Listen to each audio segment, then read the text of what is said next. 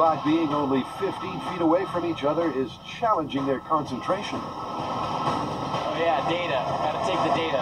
I am breathing a little deeper, just trying to calm down, but the, the fact that we are practically on top of each other side by side is freaking me out just a little bit. Luckily, collecting data is distracting me.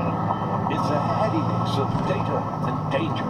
And after 10 minutes, it's time for the final formation. Right now we are moving into position to set up for the conga line. I hear I have the easy ride being up in front. I heard Tory and Grant have a little rougher time back behind me. Yep, because as the planes take their places, it's clear this isn't going to be smooth sailing. We just went from a, a nice, easy, smooth flight to a roller coaster ride.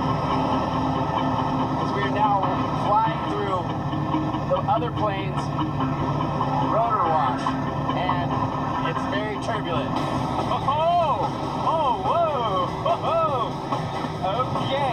It's a rotor wash roller coaster in the name of fuel efficiency. Two minutes in, we have 6.35 gallons.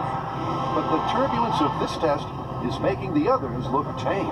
And I thought line abreast was scary.